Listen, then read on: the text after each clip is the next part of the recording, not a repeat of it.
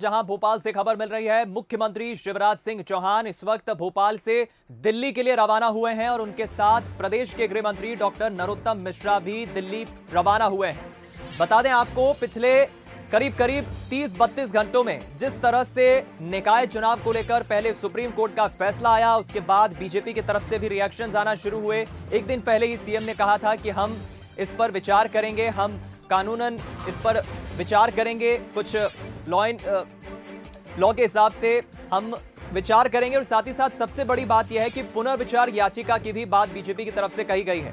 हालाँकि जिस तरह से मुख्यमंत्री शिवराज सिंह चौहान भोपाल से दिल्ली रवाना हुए हैं, अब माना जा रहा है कि सॉलिसिटर जनरल तुषार मेहता से वो मिलेंगे और इसके बाद पंचायत चुनाव को लेकर जो कानूनन रास्ता हो सकता है, आगे सरकार को क्या कदम उठाना चाहिए, इस फैसले के बाद आगे सरकार और क्या कर सकती है कानूनी जानकारी लेंगे, सलाह लेंगे, सीएम शिवराज इस वक्त दिल्ली पहुँचे हैं।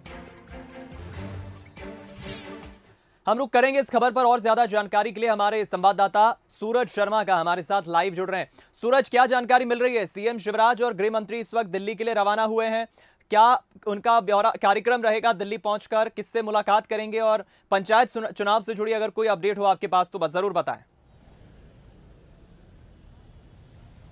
बिल्कुल, दीपक, जिस तरीके से सुप्रीम कोर्ट ने फैसला दिया था कि वो बिना ओबीसी आरक्षण के मध्य प्रदेश में निकाय चुनाव हो, पंचायत चुनाव हो, उसके बाद से लगातार सरगर्मियाँ तेज हो गई हैं। आज भी प्रदेश अध्यक्ष ने प्रेस कॉन्फ्रेंस की जानकारी दी तो वहीं कमलनाथ ने सत्ताईस प्रतिशत आरक्षण, ओबीसी जो सीट है उन पर लड़ाने के लिए बात कही तो उसी सिलसिले में मुख्यमंत्री शिवराज सिंह चौहान, नगरीय प्रशासन मंत्री भूपेन्द्र सिंह गृह मंत्री नरोत्तम मिश्रा दिल्ली रवाना हुए हैं और जानकारी के अनुसार जिस तरीके से सॉलिसिटर जनरल तुषार मेहता और वरिष्ठ अधिवक्ताओं की टीम के साथ वो मुलाकात करेंगे और किस तरीके से जो विधि विशेषज्ञों की टीम से राय ले सकते हैं कि अब सुप्रीम कोर्ट के निर्णय के बाद सरकार क्या स्टैंड ले सकती है, किस तरीके से सरकार अपना पक्ष कोर्ट में रख सकती है। क्योंकि मुख्यमंत्री ने एक दिन पहले ही कहा था कि वह इस मामले में रिव्यू पिटीशन याचिका दायर करेंगे, क्योंकि सरकार चाहती है कि बिना ओबीसी आरक्षण के चुनाव न हो क्योंकि सरकार का प्रयास है कि ओबीसी के वर्ग को प्रतिनिधित्व मिले, ओबीसी को आरक्षण मिले और ओबीसी के विकास में कोई भी बाधा नहीं आएगी।